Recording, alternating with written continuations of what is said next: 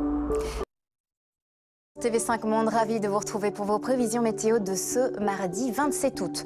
Nous prenons tout d'abord la direction du Bangladesh à l'est du pays. La situation reste catastrophique. Les inondations se poursuivent, des pluies diluviennes qui ont entraîné des crues soudaines, des dizaines de milliers de sinistrés, des pertes humaines également. Et les météorologues locaux précisent que cette situation va durer plusieurs jours et que l'eau a bien du mal à se retirer. Retour sur notre continent, la situation générale, nous avons une influence anticyclonique sur une bonne partie de l'Europe, un temps plus perturbé de l'Italie au Balkan, mais également de la pluie sur le Royaume-Uni. On va voir ça tout de suite ensemble dans un instant. Du côté des températures, pic de chaleur, principalement sur l'Ukraine et la Roumanie. Ailleurs, ce sont des températures globalement de saison ou quelque peu au-dessus des valeurs saisonnières. Cap vers les îles britanniques, une perturbation qui va apporter des pluies fréquentes dans le courant de l'après-midi sur l'Irlande, mais également le Royaume-Uni. Par contre, Londres est épargné par ces pluies avec un maximum attendu de 24 degrés.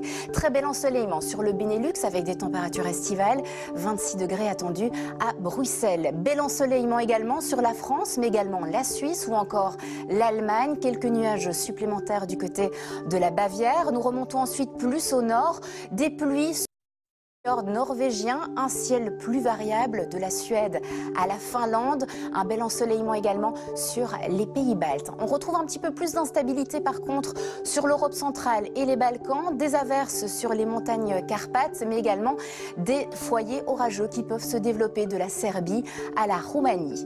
On descend ensuite du côté de la Grèce et de la Turquie avec des conditions estivales très agréables, de la chaleur mais sans excès, un bel ensoleillement bien entendu. Sur la botte italienne, on surveille des foyers orageux qui peuvent se développer sur le centre du pays. Par contre, un temps plus sec, plus ensoleillé sur les régions côtières. Nous poursuivons avec la péninsule ibérique. Très belle journée également.